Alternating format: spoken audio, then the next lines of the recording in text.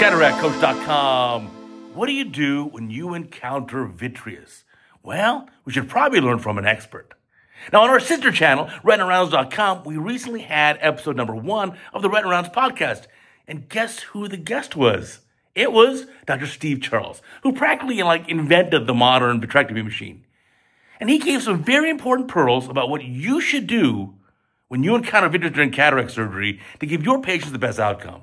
Now I'm going to play that clip for you now, but remember, check out retinarounds.com, youtube.com slash at retinarounds, sign up for the Retina Rounds podcast, and of course, I already know you're smart enough to be listening to and subscribing to the Cataract Coach podcast, where we teach you the secrets of being a more successful ophthalmologist. Now, let's get to the video clip and learn what do we do when the capsule breaks and we encounter vitreous. For the comprehensive ophthalmologist or the general ophthalmologist who uh, encounters vitreous during the surgery. What do you What do you tell your referring docs this to do? This is something I've worked on for a long time. It's That's a why I'm subject asking of you. mine. I teach that at Q. Uh, I went to every ASCRS meeting, even though I never do cataract surgery. Uh, I don't do combined phacovit, for example. And what do I What have I taught? One, never, ever, ever use a cellulose sponge. It, uh, because of wicking and because of lifting to cut, it, it obligatory traction. And and people say, well, as long as you get the out, they're going to be okay. No, it's not okay. That's Kasner's teaching. It's wrong. Intraoperative traction is bad news. Don't pull on the vitreous. So throw your cellulose sponges away. Don't touch the eye with it. At meetings, people will say, will be up giving a lecture. I said, "Well, I oh, I'm using cellulose. Sorry, is Steve in the audience? I'm sorry. I didn't. I'm sorry about using the cellulose sponge." So I got that message across. Secondly, use the highest possible cutting rate. Thirdly, never withdraw the cutter while you're working. It's like the Doppler effect.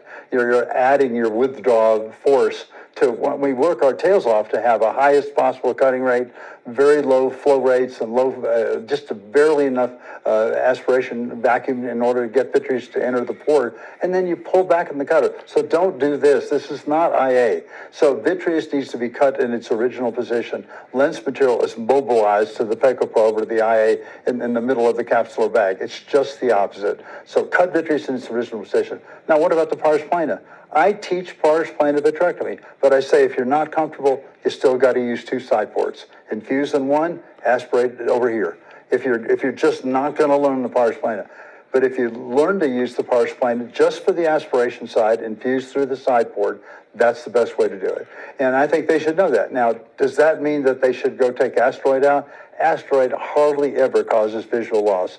Do an OCT and you'll see it's really the Well, and as Bob Foos showed, patients with asteroid almost never have a PVD, and so Good point. and so when you go to do, first of all, be very careful if you're going to step across into the posterior segment. No question. But if you go to the posterior segment, you want to be really certain that you've documented that there's a complete PVD before you get started. Absolutely correct. Let's talk about something else that I know you've had strong feelings about before, and that's the iris. So when the iris is playing games with the surgeon, what was your saying? You mess with the iris, it will what? Well, it's like all sphincters. It gets irritated when you mess with it. That is some awesome advice for the next time we encounter vitreous during cataract surgery. So remember, subscribe to the Retina Rounds podcast. You can find it on youtube.com slash at Retina Rounds. And of course, I hope you're subscribing to the Cataract Coach podcast, where every week we have a one hour conversation with an ophthalmologist who's going to teach you how to be more successful in your career. I promise you're going to love it. It's the top podcast in all of ophthalmology for a reason.